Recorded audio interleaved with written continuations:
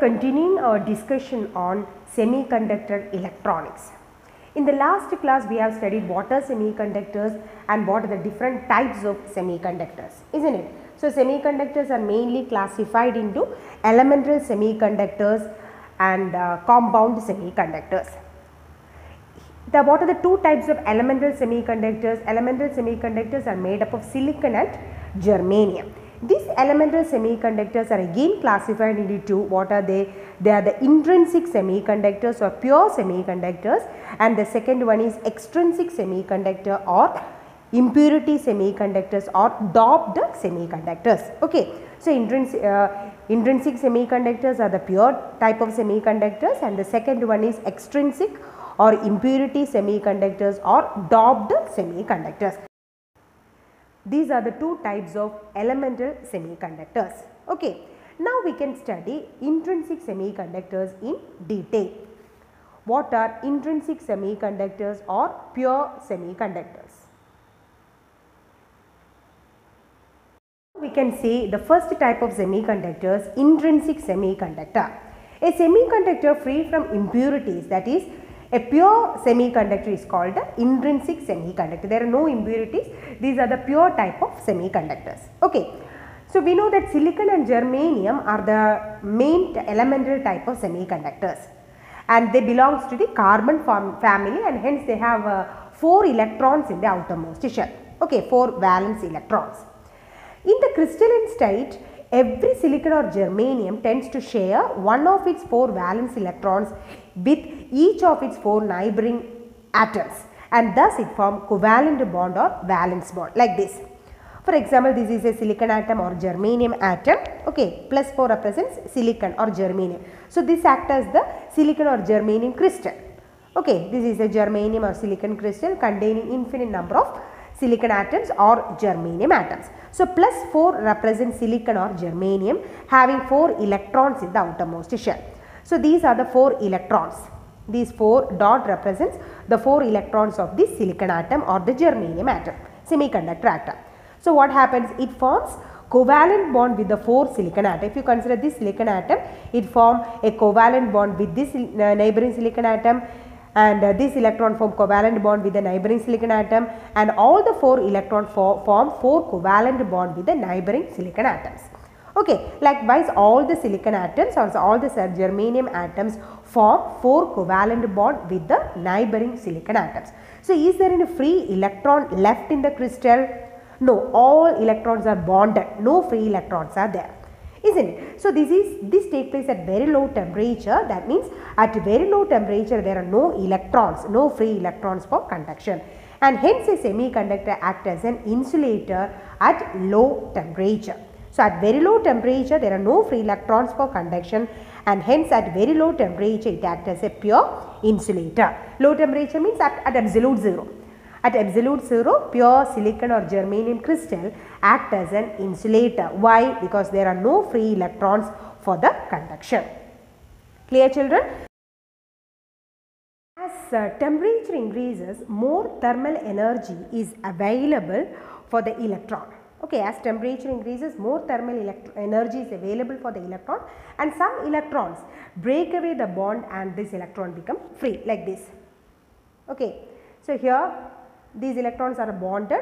As temperature increases for example initially in case here this is the electron.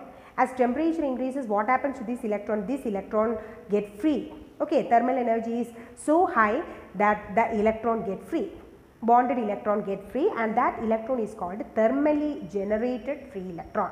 Okay so if the electron comes out of the bond means what is formed there there produces a vacancy and that vacancy of electron is called the hole.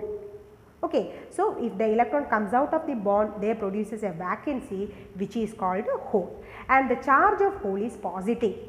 Okay. So, because electron comes out means it has positive charge. So, when as temperature increases the bonded electron gets free and uh, in that position a vacancy of electron is produced and that vacancy is called a hole. Clear children? So, as temperature increases as temperature increases more thermal energy is available for the electron and some electron break away becoming free electrons leaving behind vacancy of electrons called holes and this holes behaves as the positive charge that is according to the figure. And in intrinsic semiconductor, this is the case of intrinsic semiconductor. Intrinsic semiconductor, according to the figure, how many electron is produced? A thermally generated electron is 1. How many hole is produced there? 1. So, 1 electron according to the figure, 1 electron and 1 hole. Again, we can let, let this electron gets free means that it becomes a thermally generated electron. There a hole is formed. So totally how many holes? Two holes and how many electron? Two electron. So as a result more and more electron as temperature increases more and more electrons and more and more holes are produced. But in all the cases number of holes and number of electrons are equal. Here one hole is produced and one one electron if two electrons get free means two holes will be produced so how many electrons? 2 electrons and 2 holes. So in intrinsic semiconductor number of electrons and number of holes are always equal. In intrinsic semiconductor number of free electrons is equal to number of holes and the number of electron represented by Ne and number of holes represented by NH, Ne and NH are always equal in the case of intrinsic semiconductor and that number is otherwise called Ni where Ni is called intrinsic carrier concentration. Okay children, for an intrinsic semiconductor, number of electrons and number of holes are equal and which is equal to Ni and Ni is called intrinsic carrier concentration. Thus, semiconductors possess a unique property in which apart from electrons, holes also move. Okay, so there are motion due to electrons as well as holes. What happens if a semiconductor crystal is connected to an external electric field? Under the action of electric field, holes are, we know that holes are positively charged. They always move towards a negative potential and electrons are negatively charged, they move towards the positive potential. For example, like this. This is a semiconductor crystal. Okay, it consists of millions and millions of atoms. We have considered only one, one electron. As temperature increases means one electron get free. This is the thermally generated electron. If this crystal is connected to an external battery, Battery means less lead. Here a positive potential is connected. Here a negative potential is connected. Let this crystal is connected so that here this region is connected to the positive and this region is connected to the negative. Now what happens? This bonded electron, let this bonded electron from this side let it moves towards uh, here towards left because here positive potential no? Positive potential means here uh, electrons can move towards the or electron shows the tendency to move towards the positive potential. So what happens? This electron moves from this side and occupies this hole. Okay children? So electron can has the tendency to move towards the positive potential and therefore a bonded electron from this region for example this side move towards the region and it occupies the vacancy here. Here there is a vacancy, no? So, electron has a tendency to move from this region to this region. Okay, so this vacancy is occupied. So, what is produced here? Here no electron because this electron has gone, no? So, in that region what is produced? A hole is produced. Okay, so electrons has a tendency to move towards the positive potential. This is the positive potential. For example, this is the positive potential. So, electron has the tendency to move towards the positive potential. And what about the holes? Holes move towards the negative potential because initially according to the figure here is the hole. What happens if this electron occupies the hole? Hole shifts to this region. So, hole has a tendency to move towards which potential? Negative potential and electron has the tendency to move towards which potential? Positive potential. Clear children? So, as a result the motion of holes produce current which is called hole current and the motion of electrons produce electronic current, electron current. So, electrons moves towards the positive potential, electrons are moving towards the positive potential and holes are moving towards the negative potential. So, motion of electrons towards the positive potential produces a current. We know that motion of charges produces current. Here holes, electrons are moving towards the positive potential and what is the direction of current? What is the direction of current? Direction of current is opposite to the motion of electrons, no? So, electrons are moving towards left means what is the direction of current? Direction of current is towards right. Okay. Now, holes are moving towards which potential? Holes are moving towards negative potential. And what is the direction of hole current? That is also towards right because direction of current and direction of positive charges are same. So, direction of current is same as that of positive charge and opposite to that of the negative charge. So electrons are shifting towards the positive potential. So direction of current is opposite to that. Holes are moving towards the negative potential and the direction of hole current is same as that of hole transfer. Clear children? So in short, we can say that direction of electron current and hole current are in the same direction. So the motion of hole produces hole current and the motion of electron produces electron current. Therefore, since both the current are in the same direction, total current is IE plus IH. This is the unique nature of semiconductor because in a semiconductor both electron and hole moves and that produces electron current and hole current and both the direction are in the same direction and hence total current is electron current plus hole current. Okay.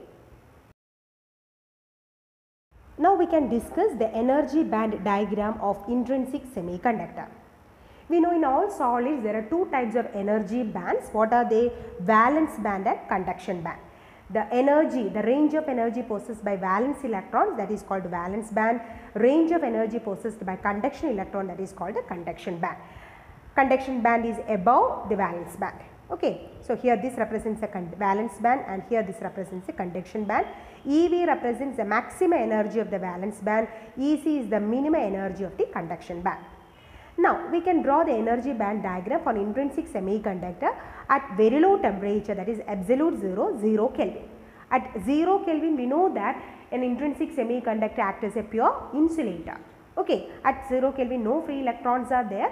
Therefore intrinsic semiconductor acts as a pure insulator at absolute 0 or 0 Kelvin. Hence we can say that there are free electrons, valence electrons are there. And uh, each energy this lines represents the energy levels. Okay these are the energy levels. This represents the energy band and uh, each line represents the energy level. An energy level consists of two electrons maximum two electrons okay so here this energy level we can draw two electrons here two electrons and all the energy level consists of two electrons here also we can draw two electrons because that also represents the energy level is there any energy in the is there any electron in the conduction band no, because at 0 Kelvin we know that an uh, intrinsic semiconductor acts as a pure insulator. Hence, there is no conduction electron in which region in the conduction band. And what is the uh, gap between uh, valence band and conduction band called? That is called the forbidden energy gap. Okay, so this is the energy band diagram of intrinsic semiconductor at 0 Kelvin. Valence band is full and but conduction band is completely empty and hence no electrons are there in the conduction band and hence an intrinsic semiconductor acts as a pure insulator. Now what happens as temperature increases? As temperature increases we know that the bonded electrons okay break the bond and come out as free electron thermally generated electrons okay and that thermally generated electron help in conduction. So as temperature increases for example these 4 electron let these 4 electrons get free Okay, let the 4 electrons get free and the 4 electrons reaches which band? Conduction band. Let. Okay, let these 4 electrons get free and they reaches the conduction band. But here in the valence band what is formed? there produces vacancy and vacancy of electron is called hole. So, since 4 electrons move from valence band to conduction band, in that position what are produced? 4 holes are produced and remaining electrons are intact. Again if the temperature increases more and elect more electrons can move from valence band to conduction band. Okay children, so according to the figure let 4 electrons move from valence band to conduction band. How many holes are produced in the valence band? 4 holes and how many electrons in the conduction band? 4 electrons. Okay, so as temperature increases, electrons around the valence band overcome the forbidden energy gap and reaches which band? Conduction band and here these are the conduction electrons and in that position what are produced vacancy of electron called holes are produced. Here this represents the forbidden energy gap. Okay, so this is the energy band diagram for an intrinsic semiconductor T is equal to 0 Kelvin or absolute 0 and T greater than 0 Kelvin. So, an intrinsic semiconductor behaves as an insulator at T is equal to 0 Kelvin it is a thermal energy at higher temperatures excites some electrons from valence to conduction band. So as temperature increases, as you know, electrons move from valence band to conduction band. Okay. So it is a thermal energy at higher temperature excites some electrons from valence to conduction band. Number of electrons in the conduction band and number of holes in the valence band are same. Okay. There are 4 electrons in the conduction band means they have come from which one valence band leaving equal number of holes there. Okay, so these 4 electrons have come from the valence band and leaving equal number of holes there. So number of electrons in the conduction band and number of holes in the valence band are same. Okay.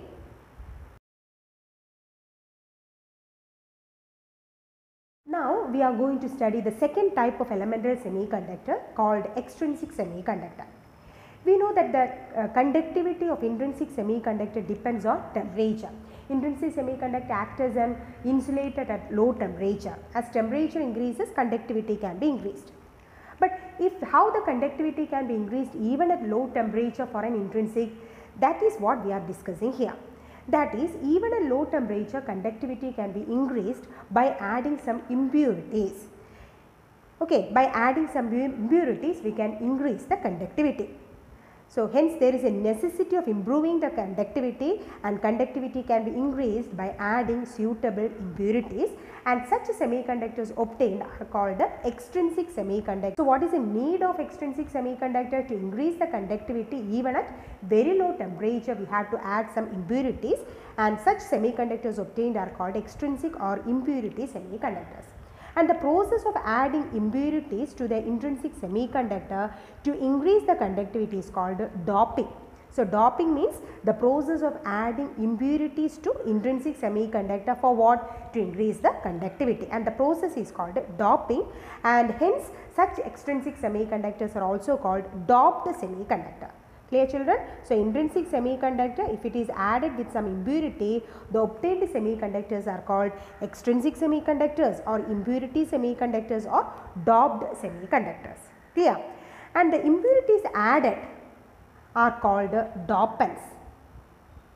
So, when intrinsic semiconductors are added with the dopants we will get extrinsic semiconductor or doped semiconductor or impurity semiconductors. Clear? So, the necessary condition for the dopants are the dopant should not disturb the original pure semiconductor lattice. Okay, so semiconductor lattice silicon and germanium are the common type of elemental semiconductor and they are arranged in a di diamond shape. Okay, if uh, these dopants are added the dopant should not distort the original semiconductor lattice. So, what is the necessary condition for doping? The necessary condition is the size of the dopant and semiconductor atom should be nearly the same. So, if dopants are added, the impurity added should not distort the semiconductor or should not distort the semiconductor lattice. For that, the size of the impurities added, size of the dopants and the semiconductor atom should be nearly the same. So, commonly used uh, dopants are, impurities are pentavalent atoms. Pentavalent atoms, we know that silicon and germanium belong to tetravalent. They are tetravalent, no? So, if dopants, pentavalent atoms, they, their size is almost equal to that of silicon and germanium. Okay, so commonly used dopants are pentavalent atoms like arsenic, antimony and phosphorus. Trivalent atoms, okay, that is also close to silicon and germanium and hence they may not distort the uh, crystal structure. So, trivalent atoms are commonly used like boron, indium and aluminium. So, pentavalent atoms and trivalent atoms are commonly used as dopants. Based on the impurities added, there are two types of uh, extrinsic semiconductors. What are they? N-type semiconductors and second one P-type semiconductors. Based on the impurities added, what are the common type of impurities? Pentavalent and trivalent. So, based on the impurities added, there are two types of extrinsic semiconductors, N-type semiconductors and P-type semiconductors. First we can study N-type semiconductors. N-type semiconductor is obtained by adding pentavalent impurity like arsenic, antimony or phosphorus to the silicon or germanium crystal. Okay, if these impurities either arsenic, antimony or phosphorus are added to the intrinsic semiconductor, we will obtain an N-type semiconductor. Now we can see how N-type semiconductors are formed. Let this plus 5 represents the pentavalent impurity when the pentavalent impurities are added to silicon or germanium crystal. What happens? This pentavalent impurity it has 5 electrons in the outermost shell. Out of 5 electrons, 4 electrons form covalent bond with the neighboring atoms. Okay, so out of 5 electrons, the 4 electrons form covalent bond with the neighboring 4 silicon atom or germanium atom. So, one electron does not form any bond with the silicon atom or germanium atom. Okay, so one electron is totally free. So, this is the unbonded free electron. This is unbonded free electron and this is donated by the pentavalent impurity. Okay. So, if pentavalent impurity is added, out of uh, 5 electrons of the impurity, 4 electron form covalent bond with the neighboring 4 silicon atom and 1 electron is totally free and this is this unbonded free electron donated by the pentavalent impurity and this electron helps in conduction even at very low temperature. If 5 impurities are added means how many unbonded electrons will be there?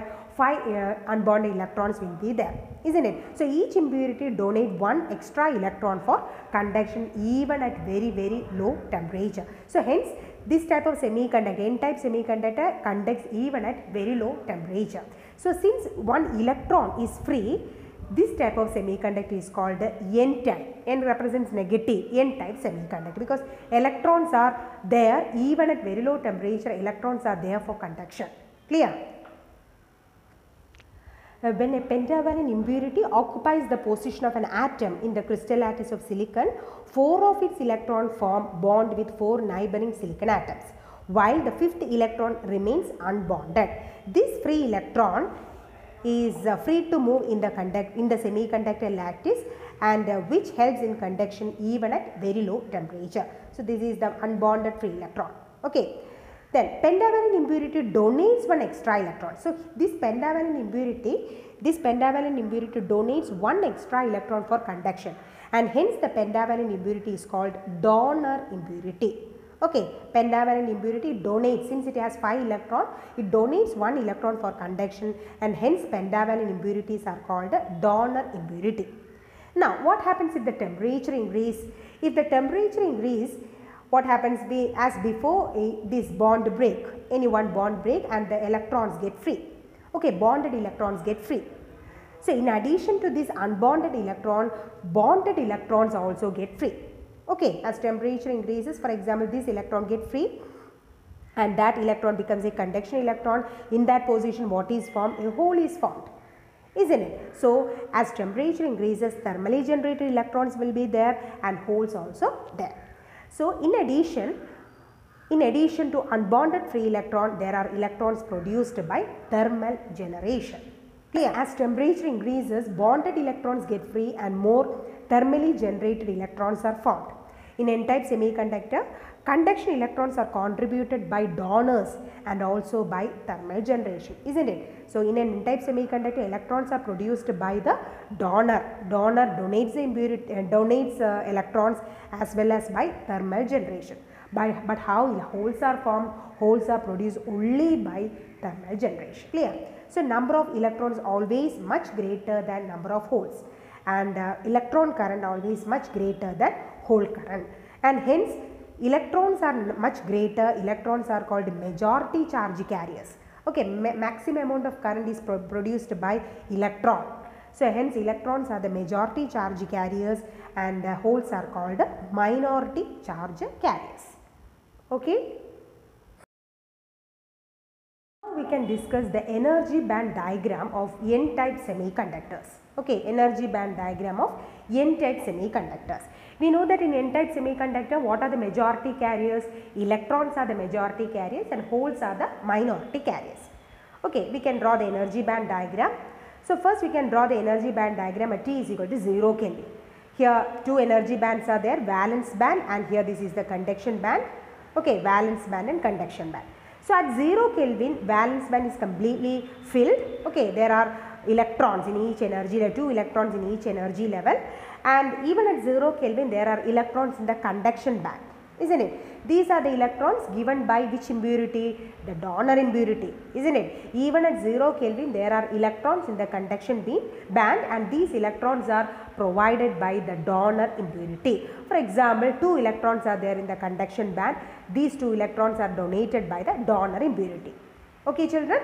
Now as temperature increases what happens? In addition to these electrons donated by the donor impurity some more electrons get free isn't it? Some more bonded electrons get free. For example these four bonded electrons get free and in that position what are formed?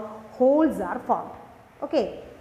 So as temperature increases the, let these four electrons reaches the conduction band and in that position what are formed? Holes are formed and let the remaining electrons remain intact okay children?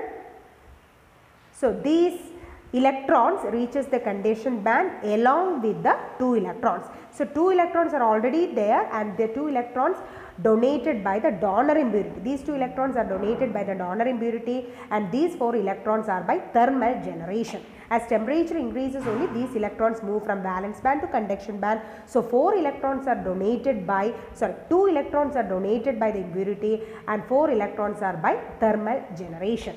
Okay. So these two electrons are given by the donor impurity and the four electrons are given by thermal generation and four holes are produced by thermal generation clear children so this is the energy band diagram for temperature greater than 0 kelvin now one more thing to add in an n-type semiconductor in addition to valence band conduction band there is one more energy level which is close to the conduction band and this energy level is called donor energy level ED. Okay, ED represents the donor energy level. So, in an n-type semiconductor, in addition to valence band and conduction band, there is one more energy level called donor energy level, where e, ED is donor energy level.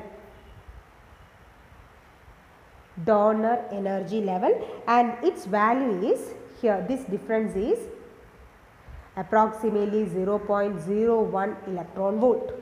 Okay, so this difference is approximately 0.01 electron volt. Clear children?